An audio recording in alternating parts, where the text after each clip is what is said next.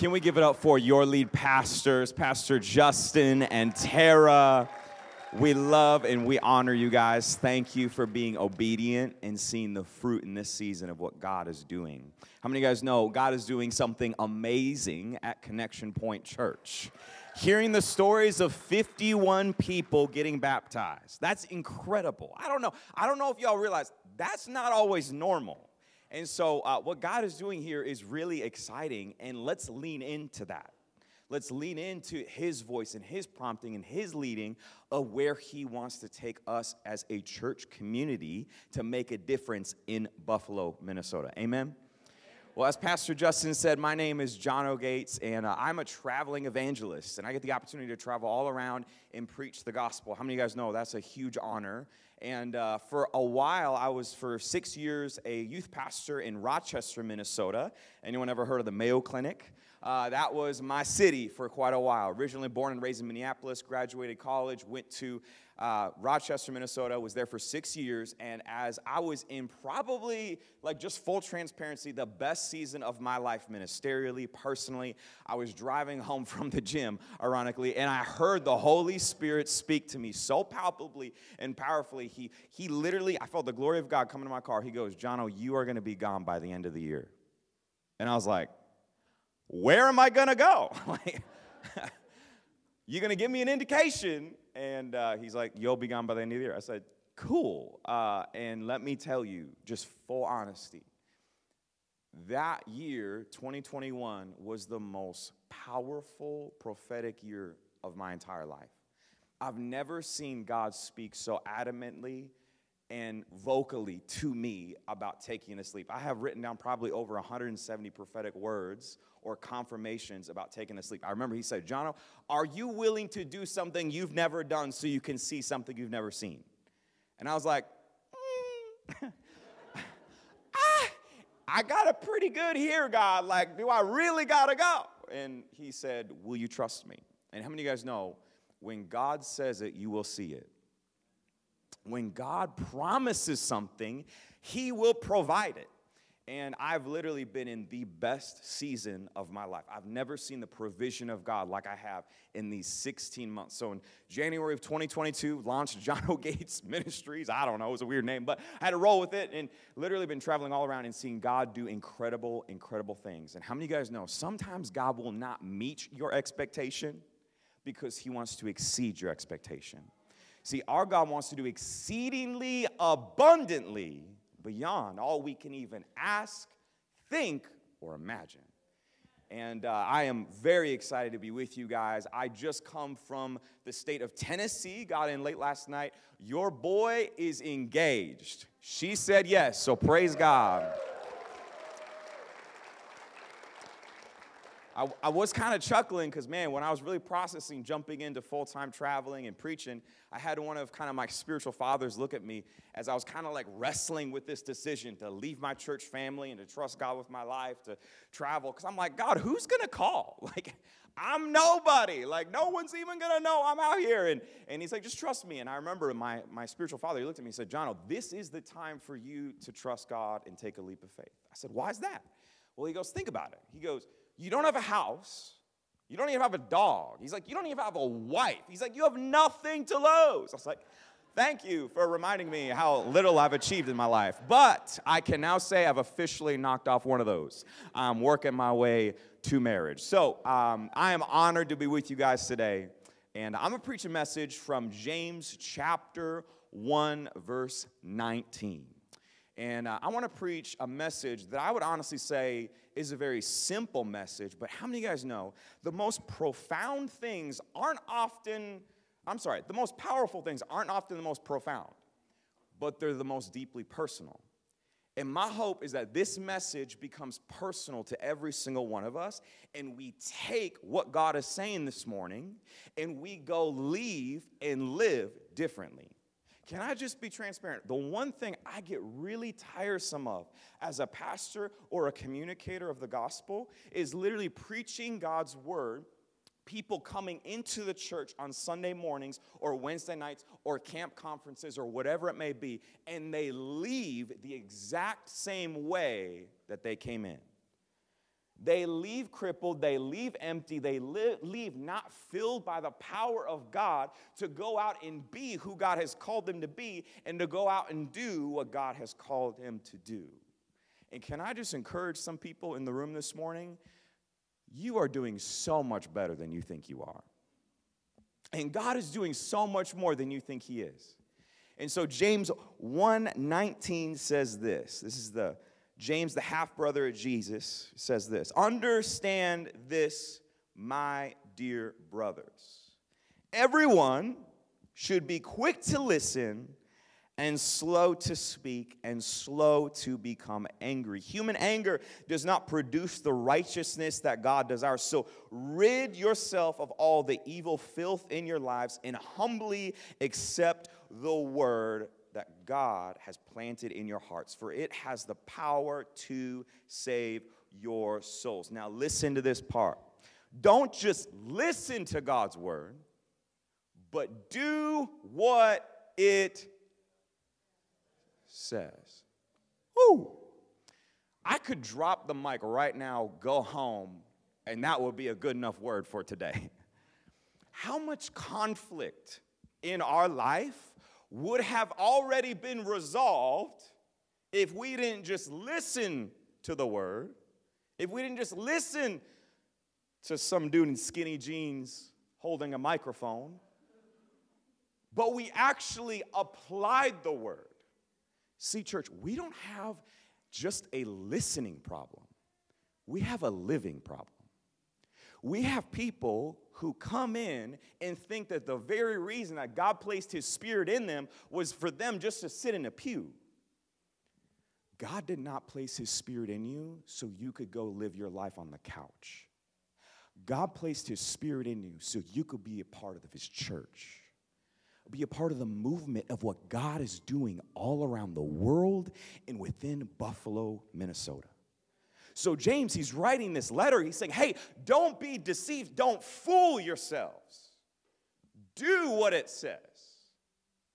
Don't be deceived like everyone else. Do what it says. For if you listen to the word and don't obey it, it's like glancing at yourself in a mirror. You see yourself for a moment and you walk away and you forget what you look like. But if you look carefully into the perfect law that sets you free, and if you do what it says, and don't forget what you've heard, then God will bless you. Come on, somebody. I want a blessing from the Lord.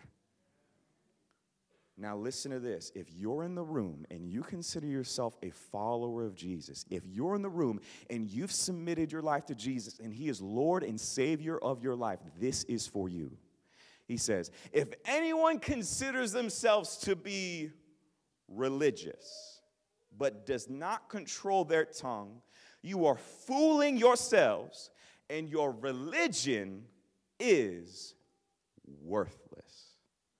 What an encouraging last statement. Let's pray. We need the Lord. Jesus, thank you so much for this time. God, I pray that you would do exceedingly abundantly beyond anything we ask, think, or imagine today. God, would your spirit come? Would you do what only you can do? Is change and transform lives. In Jesus' name. Everybody said, Amen, amen, and amen. Uh, how many of you guys have ever been like in a uncomfortable situation? Okay. Some of you are like, my whole life is an uncomfortable situation. Like, me too, okay? Uh, I always seem to be that guy that seems to find himself in the diciest situations possible. I remember my first year as a youth pastor in Rochester, Minnesota. Uh, I moved to this city and I really had no relationship, like connection. So I knew nobody and I did not know what to do with myself apart from work. And so I started to go to the gym, and I really got into weightlifting and fitness and all this stuff. And I remember um, I'm a very like habitual individual. Like I, I love going at the same time of the day. I love doing the same kind of things. And I've noticed a thing: uh, we are all creatures of habit okay? And so I started to see the very same people attend the gym at the very same time that I did. And so I started to build a little bit of a community, acquaintanceship, and literally connections with the people at this gym. And now I would naturally say, like, I, I would like to think I'm a, a nice guy, you know, for the most part. And, you know, when I meet somebody or when I know somebody, I naturally, you know, wave or acknowledge or shake a hand or say hello, do something, right? Now, I had met this gentleman at the gym about a week prior, and I saw him enter the gym. And so, from a distance, I had my AirPods in my ears. I, I waved at him. Now, I waved just being like, hey, how you doing, man? And I'm to be honest with you. He shouted something back at me, but I didn't hear what he said. Now, his, his, his face looked kind of like agitated, like like annoyed, frustrated, angry. And so I was like, that's kind of odd. I, I didn't hear what he said. So I walked up to him. I said, hey, my friend, I'm so sorry. I missed what you said. And he's, he's curling this way, like this. And he looks at me. He goes, What's your problem with me? And I'm like, my, Are we talking to the, my problem? Goes, Yeah, yeah. All you're doing is just staring at me. And I'm like, I am? Like, I was just saying hi. like, he goes, You're a Christian, right? I'm like, Yeah. He's like, You're so fake. And he drops the weight and he walks off. And I'm like, Okay, like, someone woke up on the wrong side of the bed this morning. I'm kind of minding my own business, and doing my own thing, keeping my eyes down, because apparently now eye contact is offensive. I'm walking around, kind of doing my own workouts now, and you know this thing called peripheral vision? It's like the eyesight that you can see that's not your direct clarity. Like, I can literally see this dude, no joke, hand on the Bible, death stalking me like this, pacing back and forth, looking at me. Now, like, you know those things where they're like, don't look, you wanna look. So I'm like, uh, and right when I make eye contact with the guy, he gets down low. He goes, hello. Context, we're in the dead center of the gym.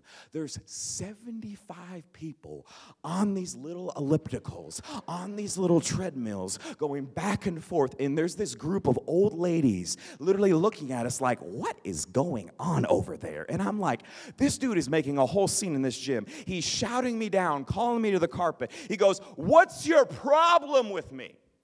And I'm like, Bro! Like, we don't have a problem. Like, I was just saying hi. He goes, No, no, you and I, we got a problem. And I'm like, No. Like, he's like, You want to go outside and fight? And I'm like, No. He goes, I'm not afraid of you. I'm not going to come into the gym every single day afraid that I'm going to get beat up. And I'm like, by who? Like, I'm just trying to say hi. He's looking at me, he goes, You know what? Let's go outside and fight right now. I'm like, Stop it. He goes, I'm not afraid. I've, I've he, he literally goes, I'm not afraid of you. I've been stabbed before. He pulls down his shirt. There's a scar across this guy's chest. And I'm like, well, I don't want to be. Like, at least let a brother get married first, you know, and like start a family and like live life a little bit. And how many of you guys know there's some things in life that you walk into that you can't always just walk out of?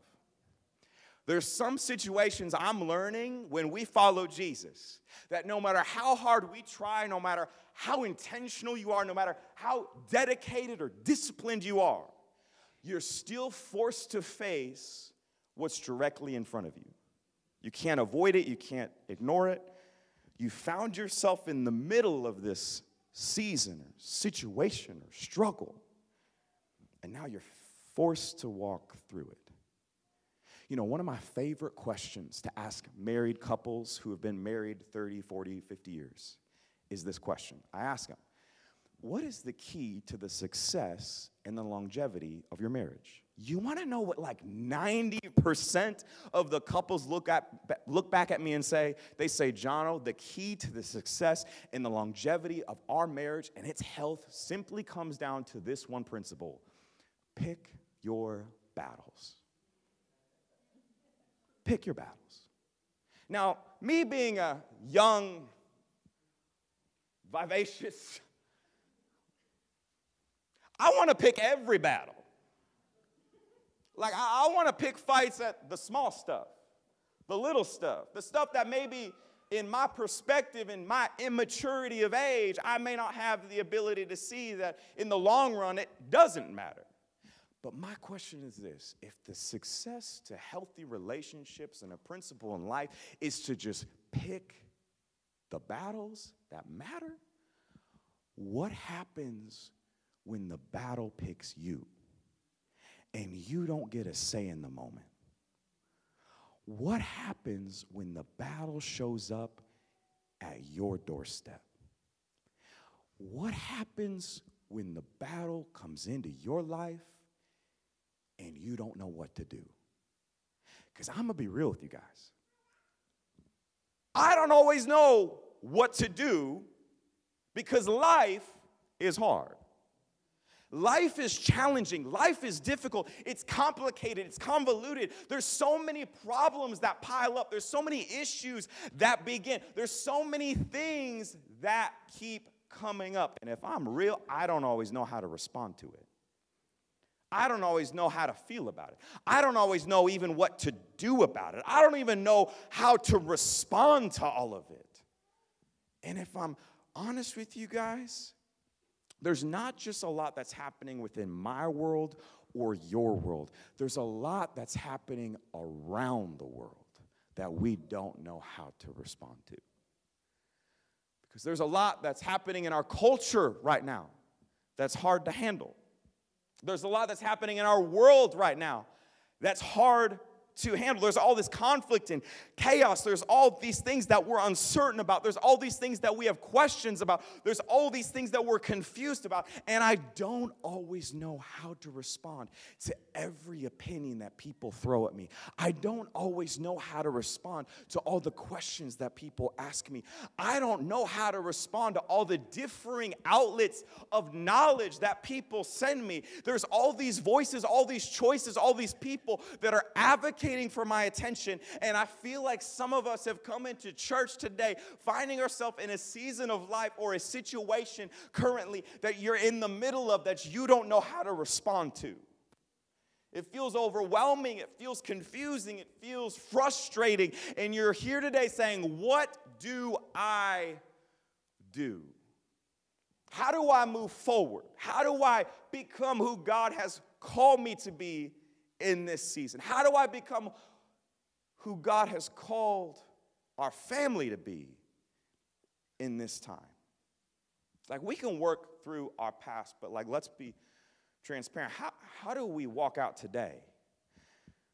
How do we process what we're seeing in our world right now, in our families right now, within our own mind right now? How do we work through the last three years where many of us, we're still processing some of the pain that we walk through from the confusion and the complexities across the world, the conflict and, vi- and division within our nation. And some of us are still working through the things that we have walked through. And some studies actually tell us that it may take up to 10 years for us to process through uh, everything that we went through on a global scale over the last three years. Now, we may never know the full effect of those moments and how they've affected us, but I believe it is absolutely imperative for us as the church of Jesus Christ. Come on, we are the church. We are the body of Christ. I believe it's imperative for us as the church of Jesus Christ to talk about some things that go against the very purpose and the destiny that God has for his people. I believe that the church of Jesus Christ should not be avoiding that which needs addressing.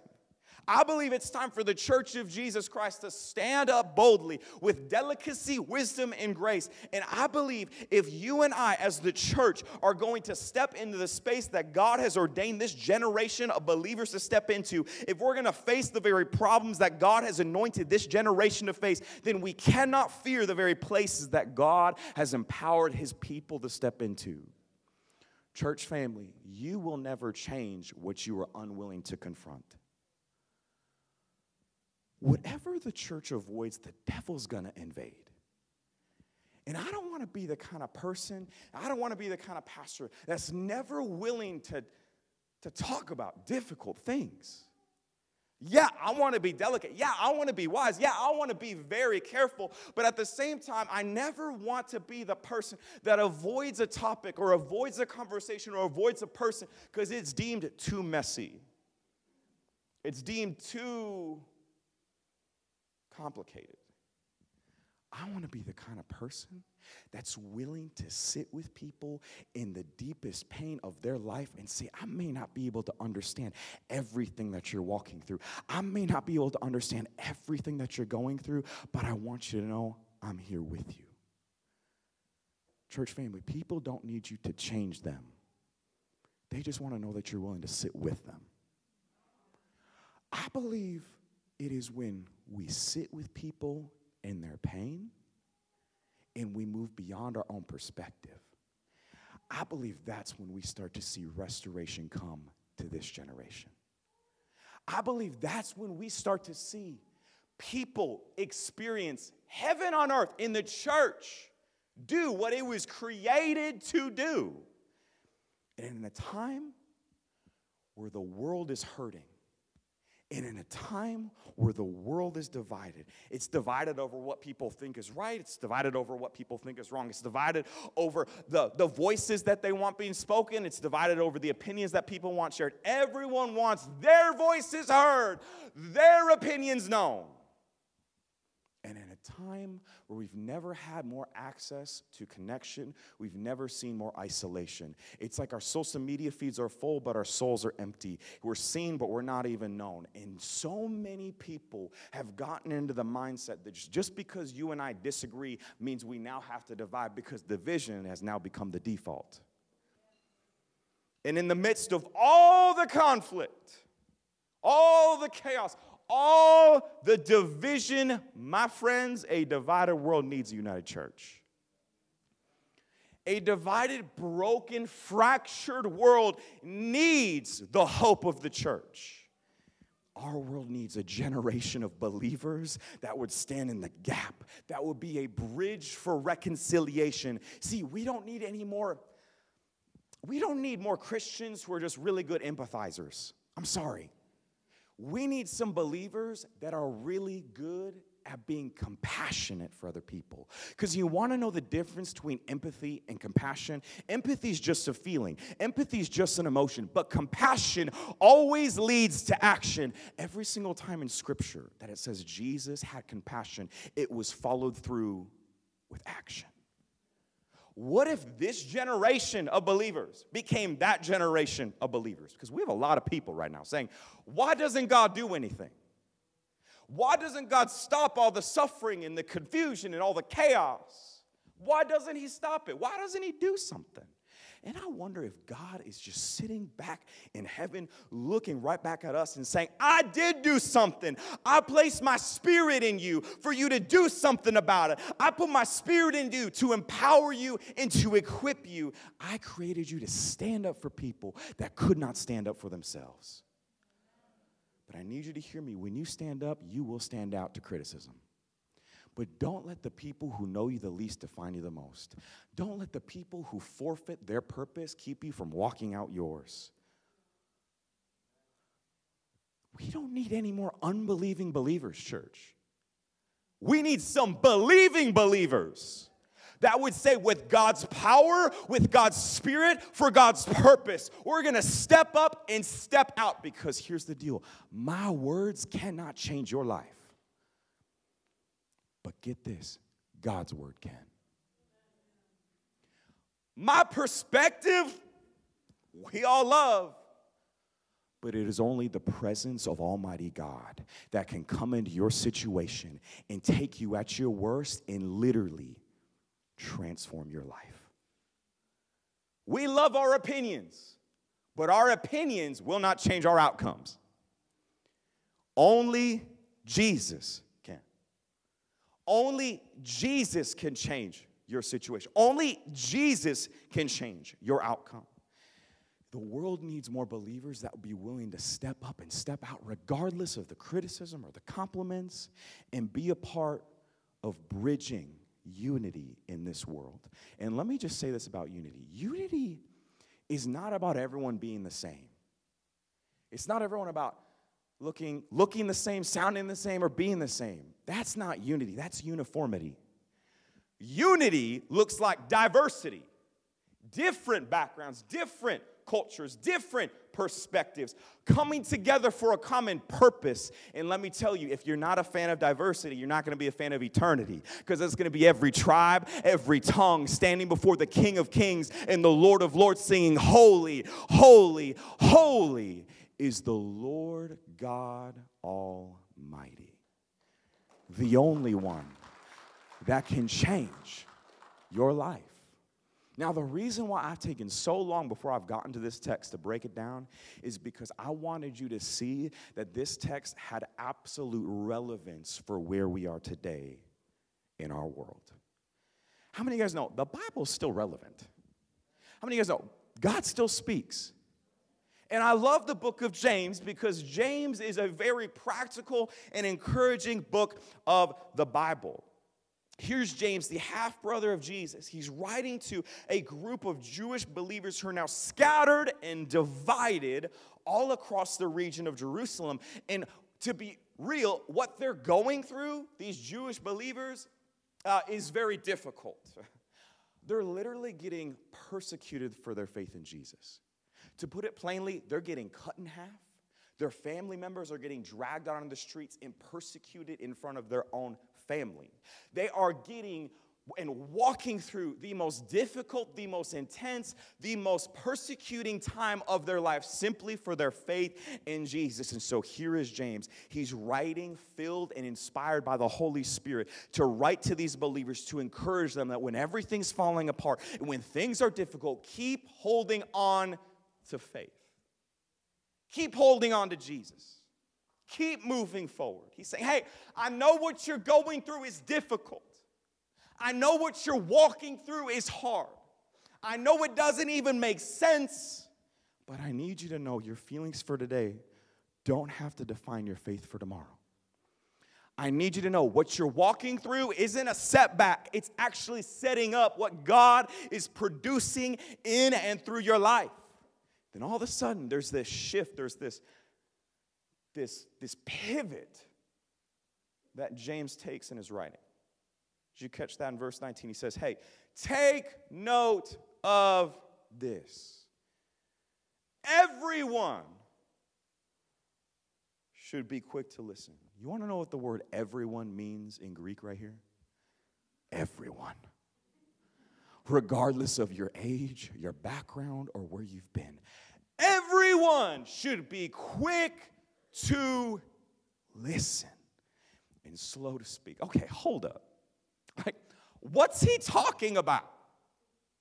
Like, he just went from talking about persevering through the trials they're in to now talking about the power of the tongue that they have. Like, this dude, he's literally writing to a group of Jewish believers who are walking through the most difficult, tumultuous time of their life, and he has the audacity to talk to them about the power of their words? Come on, James. Talk about missing the moment. Talk about not reading the room. Why wouldn't he keep writing to these Jewish believers about how to hold on to Jesus in the midst of difficulty? Why wouldn't he keep writing about how to stay faithful to the finish? Instead, this joker he comes out here and talks to them about something so small, their words, when what they're walking through is so significant. But I wonder if James, the half brother in Jesus, inspired by the Holy Spirit, understood something that you and I struggle to understand today. I wonder if he understood that the way that we see the world changed for Jesus does not come from how loud we are, but it comes from how well we listen. This feels controversial. Because in a world that says to make change, we got to make our opinions known, our voices and disagreements loud and clear. Everyone wants the first word in and the last word out, so much so that we've lost the art of listening because too many people only listen to speak, they don't listen to understand or hear. They listen so they can add their comment. They listen so they can share their story. They listen so they can add their opinion. That's not listening. Listening, listen to this, no pun intended, is the desire to connect to someone's heart over your desire of being heard. That's listening. See, you may impress people with how you speak, but you will truly impact people with how you listen. And I love that this church is named Connection Pointe Church because you guys are all about connection, connecting to each other and connecting each other to a real God. You may impress people with how you communicate, but you will truly impact people with your connection. Church, I believe that the name of this church is a prophetic indicator for Buffalo, Minnesota. That people would come into this place and feel such a divine and a supernatural connection to an almighty God that can come into their life and change their life forever. I don't want to be the kind of person that's being trying to be so impressive with how, how fluent or profound I sound. I don't even care.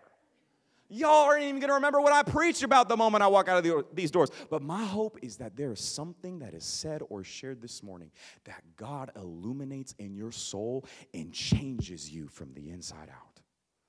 Man, I want us to leave different today. I want us to be challenged today because if we're never challenged, we will never change. I want God to get into my life, the murky, dark, nasty, disgusting areas of my soul, and say, hey, this isn't in alignment with my word. This isn't in alignment with who I've called you to be. This isn't in alignment with the person and the place that I'm taking you into in life. I want God to get up in my business. And I wonder if some of us, I wonder if we become less critical if we became more curious about others.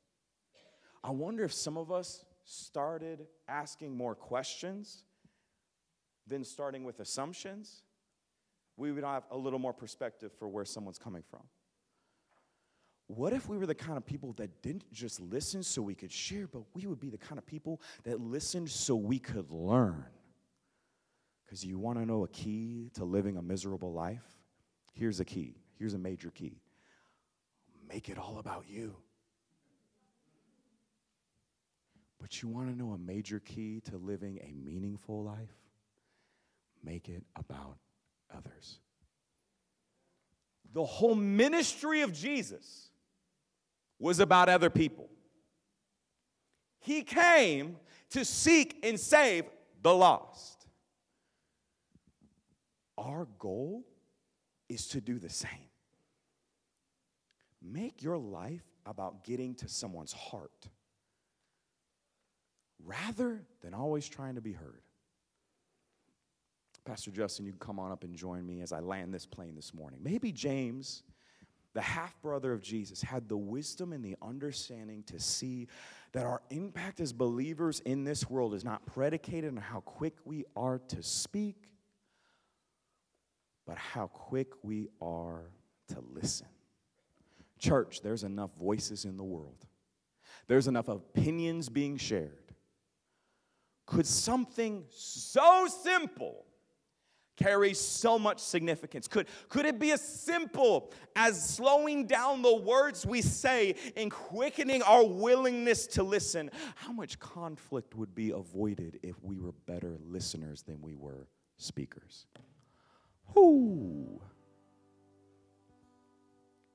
How much drama would be resolved if we were better listeners than we were speakers? How much healing? Would take place within our marriages and families if we were better listeners than we were speakers. See, I don't want to live my entire life so busy trying to communicate a point that I miss out on connecting with people. Then James has this final moment. I like to call it like a mic drop moment. You know what I'm saying? He goes a few verses later in verse 26. He says, Those who consider themselves religious, so this is us if you love Jesus, Yet do not keep a tight rein on their tongues. In other words, anyone who does not watch, monitor, or keep an eye on what they say or hello somebody how they say it. Because you can say the right thing in the wrong way. Deceives themselves, and their religion is worthless. That word worthless in the Greek communicates something of uselessness. Something that's empty, something that has no point, no meaning, no value anymore. So, this is powerful. James isn't just trying to step on our toes, he's trying to step on our tongues.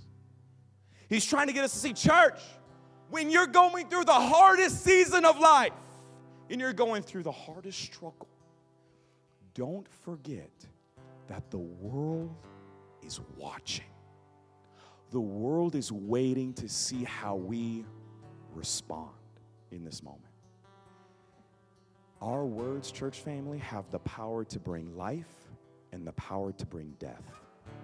And I've seen so many believers lose credibility for the kingdom of God from the things that they've typed, from the things that they've said. How many of you guys know some people do more damage with their thumbs than they ever will do with their tongues? What if we were the kind of church that didn't jump to Facebook to talk about the world's problems, but we went and ran and sat with people in their pain? To move beyond our perspectives. See, the world is watching. The world is waiting to see how we as the church respond. When the world is falling apart, when our worlds are falling apart, they're looking to see is there a difference? Is there a shift in the way that they approach life and they lean and trust God? Because some of some Christians can be the most vocal about what's not going on in their life. And they put more emphasis on their problem than they do their God. Don't give the devil another foothold. What if we started talking about our God more than our problems? What if we started talking more about His faithfulness more than the issues we got going on in our life? Because here's the deal like, I, I, I don't want to be that kind of person who's, who's so busy trying to prove something to somebody else that I miss out on connecting to the people that God has placed all around me. Because y'all remember that story of the gym, the guy that was like coming at me, hating on me? Yeah, y'all didn't think I was gonna come back to that. I am. Don't you worry. I left tension high. So here I am, the dead center of this gym. This dude is coming at your boy, like straight up, chewing me out for seven straight minutes. It turns out when you're getting cussed at and chewed out for seven minutes, it feels like an eternity. I'm sitting here in the dead center, all these people are just staring at us. No one came to help. Thank you, guys. I'm sitting there trying to de escalate. Like, I am a lover, not a fighter, okay? Like, I'm like, bro, like, let's just hug it out. Like, it's all good. So I'm sitting there and I'm like, dude, this dude is just getting more revved up. I can't de escalate him. And so I literally had this thought. I just thought to myself, literally in my head, I just thought, Jesus, I need you to show up. How many of you guys know when you invite Jesus into your situation, he will always exceed your expectation?